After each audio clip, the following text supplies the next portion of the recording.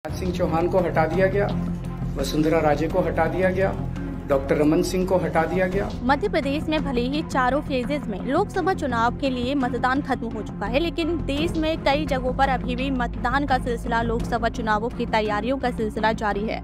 इसी कड़ी में आपको बता दें कि लगातार पॉलिटिकल पार्टीज़ के द्वारा आरोप प्रत्यारोप और बयानबाजी का सिलसिला भी चल रहा है। वहीं आपको बता दें कि हाल ही में जेल से बाहर आए दिल्ली के सीएम अरविंद केजरीवाल आजकल मध्य प्रदेश के पूर्व सीएम शिवराज सिंह चौहान को काफ़ी याद कर रहे हैं। अपने बयानों में शिवराज सिंह चौहान का काफ़ी ज़िक्र कर रहे हैं। आखिर क्या कुछ कह रहे हैं? केजरीवाल आपको विस्तार से इस रिपोर्ट में हम बताएँगे। नमस्कार, आप देख रहे हैं द खबरदार न्यूज़ और मैं हूँ आपके साथ अंजना। देखिए, भले ही मध्य प्रदेश में लोकसभा चुनाव के लिए मतदान खत्म हो गए हैं। चार जून को नतीजों का इंतज़ार सभी को, लेकिन देश के दूसरे हिस्सों में अभी भी मतदान होना बाकी है। आपको बता दें कि सात फेजेज में होने वाले देश के लोकसभा चुनाव हैं। उसका अंतिम मतदान एक जून को होगा और चार जून को नतीजे आएँगे। इस बीच हाल ही में दिल्ली के सीएम अरविंद केजरीवाल जो जेल से जमानत पर बाहर आए और उन्होंने पब्लिक रैली करना शुरू किया।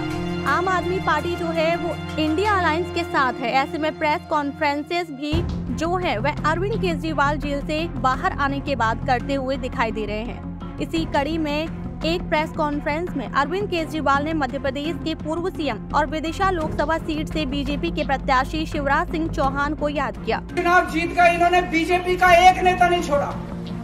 आडवाणी जी की राजनीति खत्म कर दी, इन्होंने मुरली मनोहर जोशी की राजनीति खत्म कर दी, सुमित्रा महाजन की, शिवराज सिंह चौहान जिसने मध्य प्रदेश का चुनाव जीत के दिया इन लोगों ने, शिवराज सिंह चौहान ने, उसको मुख्यमंत्री ने बनाया, उसकी राजनीति खत्म आपको बता दें कि अरविंद केजरीवाल ने बीजेपी के ऊपर निशाना साधा और कहा कि शिवराज सिंह चौहान को हटाया गया। वसुंधरा राजे और रमन सिंह को हटा दिया गया। देवेंद्र फडणवीस को खत्म कर दिया गया। खट्टर को खत्म कर दिया गया। एक एक करके सबको खत्म कर दिया गया। एक ही सख्त बचे हैं जो है अमित शाह की राह में कांटा बन सकते हैं, वो है योगी आदित्यनाथ। योगी आदित्यनाथ को उन्होंने हटाने का मन बना लिया है। आपको बता दें कि अरविंद केजरीवाल लगातार बीजेपी के ऊपर निशाना साध रहे हैं। वह कह रहे हैं कि अगर देश में बीजेपी की वापसी होती है तो ऐसे में प्रधानमंत्री मोदी को हटा दिया जाएगा। इतना ही नहीं, वह यह भी कहते हुए दिखाई दे रहे हैं कि उत्तर प्रदेश के मुख्यमंत्री योगी आदित्यनाथ, जो कि मुख्यमंत्री के पद पर है उन्हें भी हटा दिया जाएगा।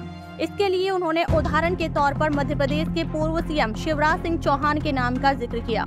साथ ही राजस्थान और आपको बता दें कि छत्तीसगढ़ के जो पूर्व मुख्यमंत्री हैं, उनके भी नामों का ज़िक्र किया। आपको बता दें कि मध्य प्रदेश में 2023 में विधानसभा चुनाव के बाद 18 साल मध्य प्रदेश के मुख्यमंत्री रहे शिवराज सिंह चौहान को मुख्यमंत्री दोबारा नहीं बनाया गया। उनकी जगह डॉक्टर मोहन यादव को मुख्यमंत्री बनाया गया। इसी के ऊपर से आपको बता दें कि अरविंद केजरीवाल जो है, वह बीजेपी के ऊपर निशाना साधते हुए दिखाई दे रहे हैं। फ़िलहाल आप अरविंद केजरीवाल के इस बयान को लेकर क्या सोचते हैं?